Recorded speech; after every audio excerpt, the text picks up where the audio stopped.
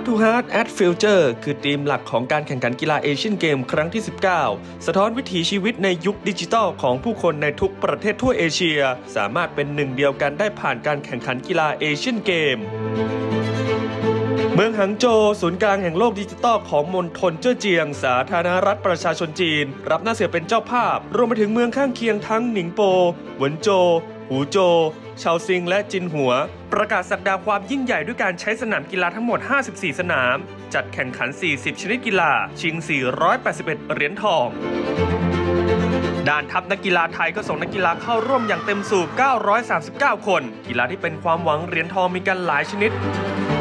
เริ่มกันที่เทควันโดประเภทต่อสู้เทนนิสพานิพักวงพัฒนกิจแชมป์โลกรุ่น 49 กิโลกรัมหญิง ที่จะลงแข่งขันกีฬาเอเชียนเกมสมัยที่ 3 กับใบเตยสัสิการทองจันทร์ในรุ่น 62 กิโลกรัมหญิง ทั้งสองคนเพิ่งช่วยกันคว้าเหรียญทองกีฬามหาวิทยาลัยโลกที่ผ่านมา โดยเทนนิสหวังที่จะป้องกันแชมป์เอเชียนเกมสมัยที่ 2 ในการแข่งขันกีฬาเอเชียนเกมครั้งสุดท้ายของตัวเองยังคงหมั่นฝึกซ้อมกันอย่างหนัก และไม่ประมาทคู่ต่อสู้ มีการทำการบ้านและศึกษาคู่แข่งอยู่ตลอด ขณะที่นักกีฬาคนอื่น ๆ ในทีมต่างก็ซ้อมกันอย่างหนักเช่นกัน โดยทัพเทควันโดไทยได้เดินทางไปเก็บตัวอย่างเข้มข้นถึงประเทศเกาหลีใต้เป็นเวลา 2 อาทิตย์ ก่อนจะเดินทางมาชิงชัยเอเชียนเกมหนนี้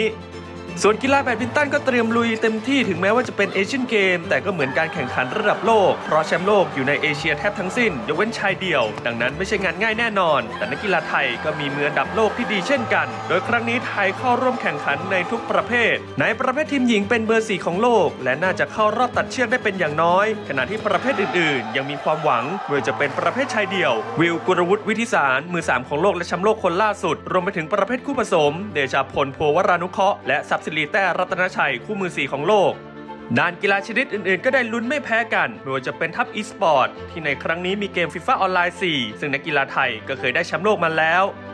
ทัพยกน้ำหนักเองก็ฟอร์มกำลังเข้าที่ และเพิ่งทำผลงานได้อย่างสุดยอดในศึกชิงแชมป์โลกที่ประเทศซาอุดิอาระเบีย โดยการคว้ามาได้ถึง 5 เหรียญทอง ทัพตะกร้อตั้งเป้าฟาดเรียบทั้ง 4 เหรียญทอง และได้สิทธิพงศ์คำจันทร์กลับมาช่วยทีมร่วมกับพรชัยเค้าแก้ว ที่จะลงแข่งขันเอเชียนเกมเป็นครั้งสุดท้าย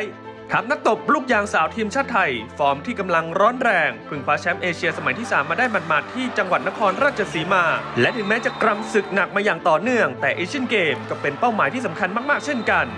ส่วนทางด้านของทัพนักกรีธาของไทยก็เตรียมความพร้อมกันอย่างหนักหน่วง โดยเฉพาะตัวความหวังอย่างเทพบิวภูริพลบุญสอนที่หายจากการบาดเจ็บกลับมาฟิตสมบูรณ์เป็นที่เรียบร้อย ให้ได้ลุ้นกันในประเภท 4 คูณ 100 เมตรชาย